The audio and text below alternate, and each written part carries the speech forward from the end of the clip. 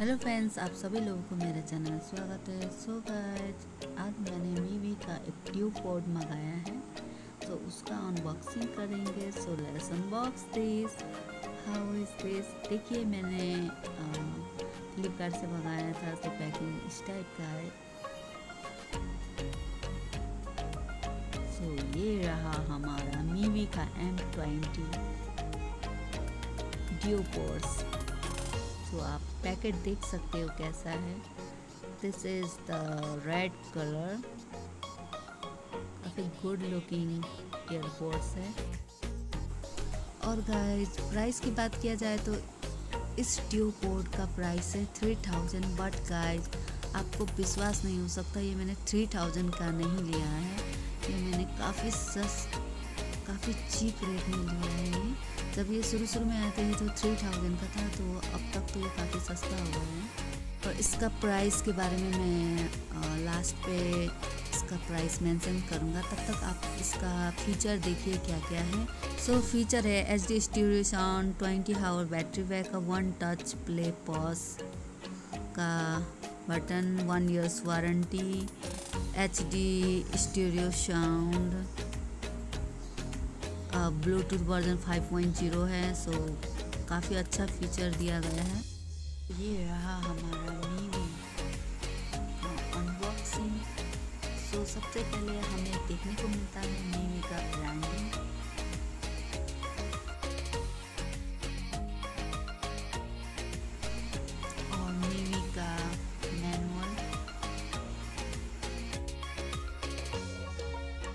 सो आप देख सकते हो इसका पैकेजिंग किस टाइप का था। ये काफ़ी अच्छे से पैक किया गया है।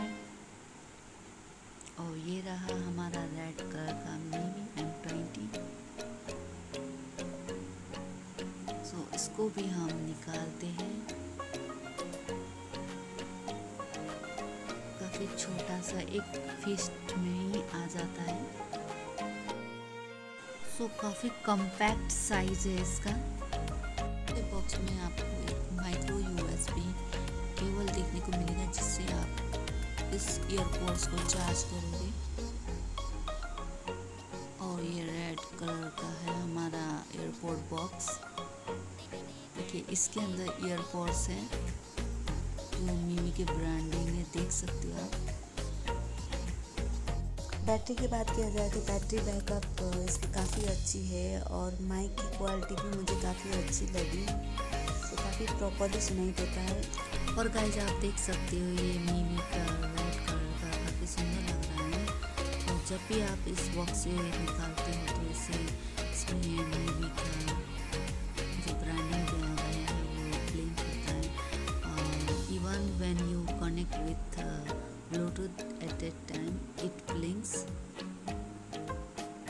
काफ़ी light weight at compact size है ये। सो so, आप यहाँ देख सकते हो विथ बॉक्स ये 35 ग्राम का विदाउट बॉक्स ये 9 ग्राम का है। One ear piece four gram something का है। वेरी लाइट वेट सो इस एयरपोर्ट का डिज़ाइन काफ़ी सुंदर लग रहा है और इसके बैक साइड पे देखने को मिलता है लेफ़्ट और राइट का साइन देखने को मिलता है। और ये ईयर टिप्स भी काफ़ी सॉफ्ट है। साउंड क्वालिटी काफ़ी अच्छी है ट्रीबल भी अच्छी है but bass is not high so I am going to pair my mobile with uh, MIUI M20 तो कनेक्टिविटी की बात किया जाए तो ब्लूटूथ कनेक्टिविटी अच्छी है, एक दो सेकंड में हो जाता है बट आपको दूसरे मोबाइल में ब्लूटूथ ऑन करना पड़ेगा तो सबसे पहले अपने पहले वाले फ़ोन को ऑफ़ करना पड़ेगा ब्लूटूथ उसके बाद आपको पोर्ट को आप केस में डालकर फिर उसको वहाँ से निकालना पड़ेगा। उसके बाद आपको मोबाइल में ब्लूटूथ ऑन करना पड़ेगा। इस तरह से ये प्रोसेस में आपको चार पाँच सेकंड का टाइम लगता है। सो